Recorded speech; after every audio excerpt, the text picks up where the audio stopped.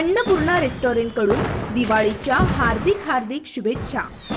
वर्धा जिल्ह्यामधील विठ्ठलवाडा येथे जलशुद्धीकरण केंद्र असून पाणी निर्धोक करून नळाद्वारे सामान्य जनतेपर्यंत पोहोचवले जाते.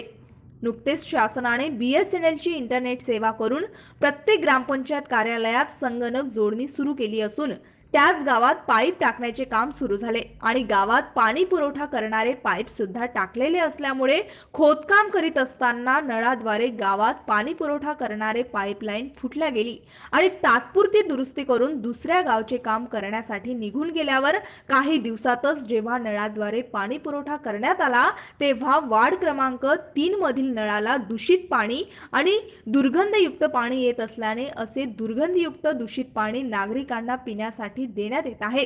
असे पाणी पिण्याने गावातील नागरिकांच्या आरोग्याला धोका निर्माण होण्याची दाट शक्यता आहे. संबंधित काम करणाऱ्या ठेकेदारावर कारवाई करण्यात यावी अशी मागणी नागरिक करीत आहे. नळातून येणाऱ्या पाण्यात अळ्या सुद्धा मिळाल्याचे महिलांनी सांगितलं. असे दुर्गंधी आणि दूषित पाणी नेमकं येतंय कुठून? याचा शोध घेऊन ते दुरुस्त करण्यात यावे आणि निर्धोक पाणी पिण्यास मिळावे अशी मागणी संबंधित नागरिक आणि महिलांनी केलेली आहे.